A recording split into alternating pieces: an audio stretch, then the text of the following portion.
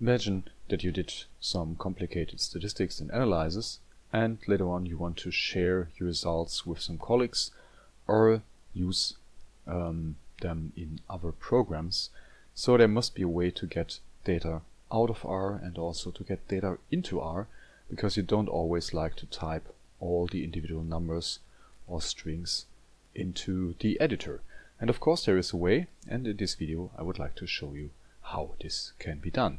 So to do that I already cre created a um, data set which we would like to save and load later on and it's the uh, usual um, data set of imaginary course participants so they have a certain height, certain age and a certain sex and we combine them to a matrix uh, to a data frame that's course data and put row names on them and when I look into this data set I can see here that's a data frame like we have learned last time.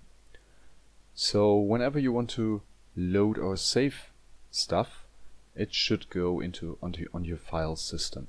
And show it will go into a specific directory, and that's the working directory that we talked about in the beginning. So whenever you want to save or load, this is the uh, latest point at which you would like to check what your current working directory is.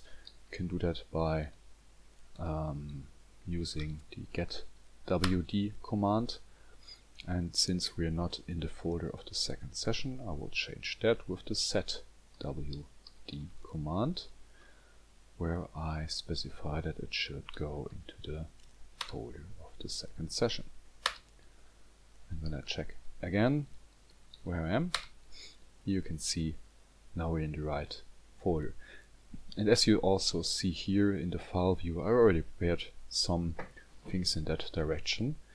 Are already loaded and saved data, but we will create another file here, which we will like to use then.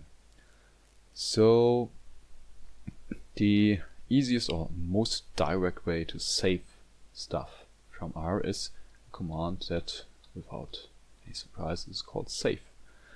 And when I specify what I would like to save here, so my course data, and also where it should go as a file course data 2 dot r data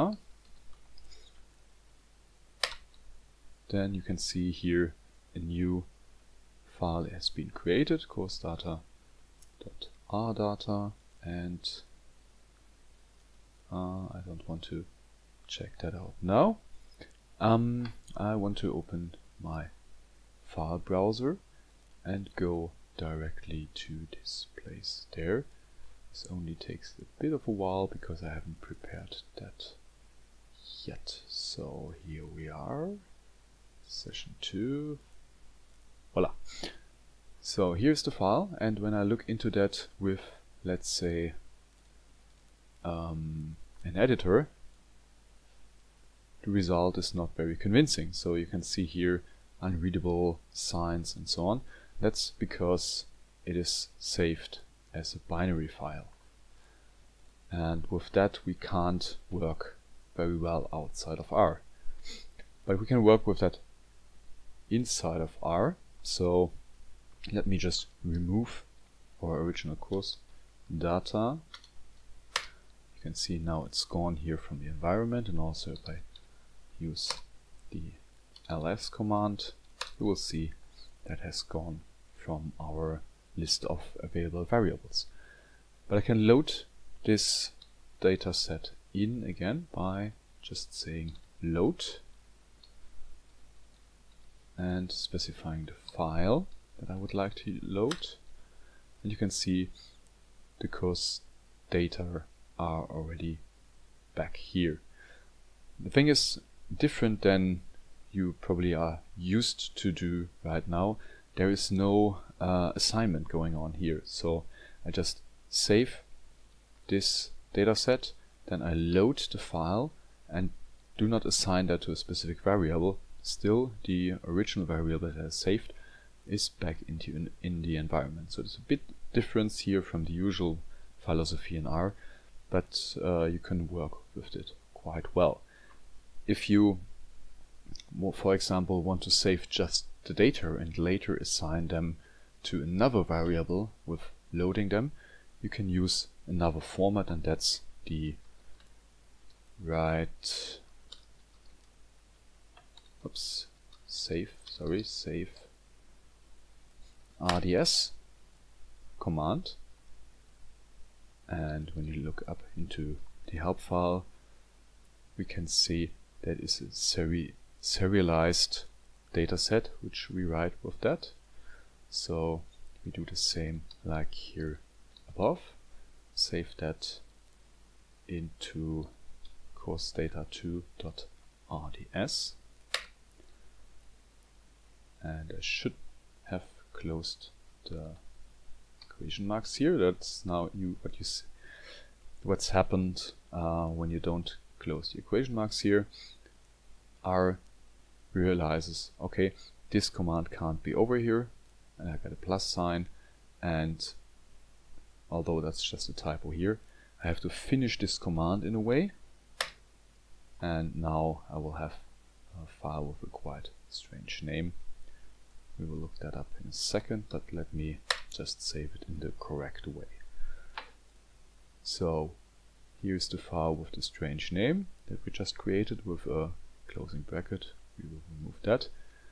And now we have here the RDS file and if I look into that with an editor again we can see that's a binary file so it's not human readable and hardly to um, load into other programs. But now I can do uh, something like load, uh, sorry, read RDS and load the file again. And now different from the simple load command, when I just have it like that, I see an output in the console, which means I can store that into a variable of my choice. So I can make a new variable and read this file into them and you can see here it's the same it has the same values like the original one but I was able to store the saved data in another variable so with these two commands you can save and load data within R in R's specific original file format. There are other uh, file formats that you can use for saving data here. I will not go into detail with this with this presentation, with this video tutorial. You can look that up into in the presentation for the course if you like. I only want to go um, highlight one specific file format and that's the CSV format which stands for comma separated values and that's probably the, the most handy file format to exchange data between R and the outside world, between R and different other programs, for example spreadsheet programs. And to it's a very simple format um, where the individual values, as the name says, are separated by commas. So I can write CSV with again which data set I would like to save so the course data and the file should equal to course data 2.csv and when I trigger that so something had happened in the back and you can see here we have our course data 2.csv and again would like to open that with uh, editor. So that's how it looks like. You can see we have our values, at least the strings, isolated in equation marks, then the individual values separated by a comma. Up here we have the variable names or the, the column names and I can also open these data up in a spreadsheet software and here my spreadsheet software is asking me how are these CSV file, how is the CSV file formatted. You can see that there is a comma version, that's what we just used here. And when I select that I get a correct output of the individual columns. But also you can see that there is a semicolon version and other ones. But these two are the most important ones, comma and semicolon. Um, CSV was first used I think in the Anglo-American uh, world.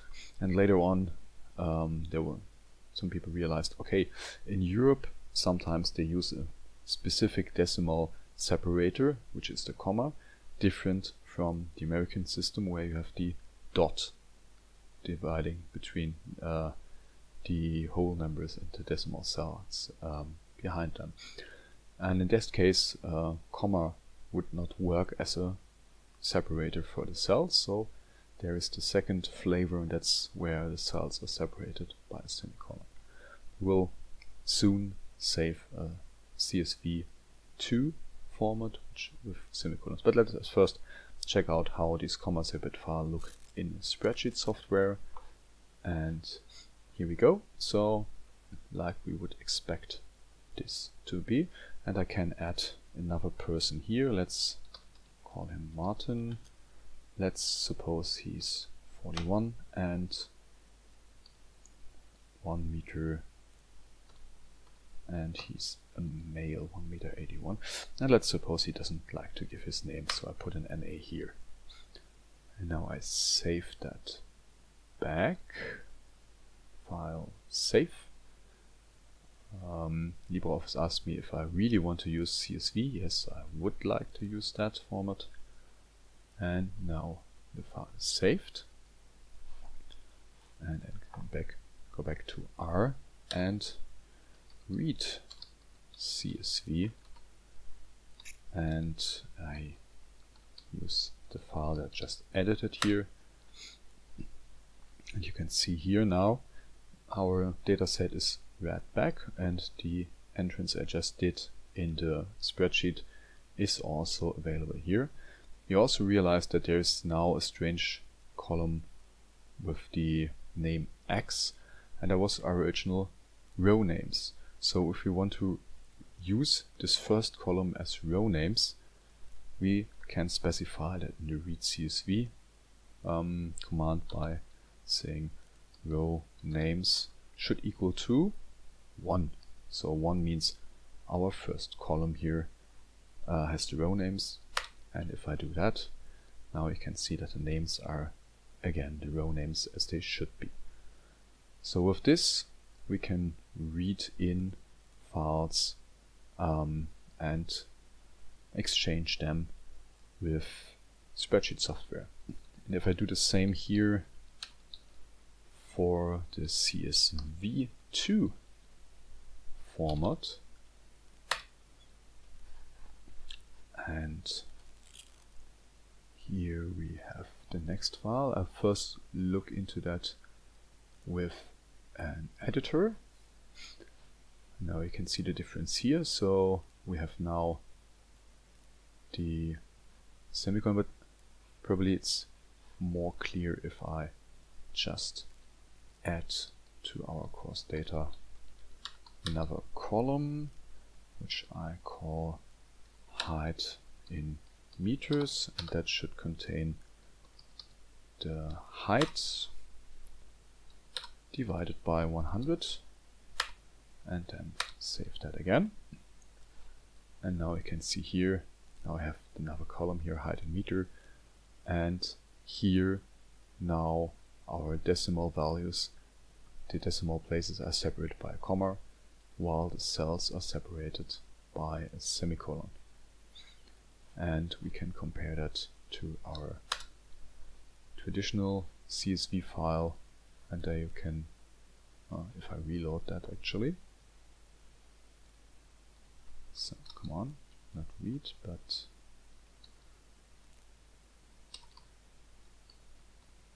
right okay here we go So this is the CSV file where comma is the separator of the cells and the point is the separator of the decimal places. This is the um, continental version again. So you can see the differences here. Okay, so whenever you're using a computer where your language um, is generally set to a continental language, German, French, whatever, it might be more convenient to use the CSV2 command because Excel usually don't ask you, uh, different from LibreOffice, what you would like to use as a um, cell separator, as a column separator in CSV files, but just assumes that whatever it gets is in the language setting that you had in the first place. So when you use a continental language setting, you might use CSV2 to not get problems with Excel, or you install LibreOffice as alternative to Excel and the Microsoft Office suite. And if you are in the Anglo-American um, language settings, it might be fine enough to use the standard CSV file. Okay, so now we have seen how to save data uh, from R to with CSV and what the differences are between the different flavors of that.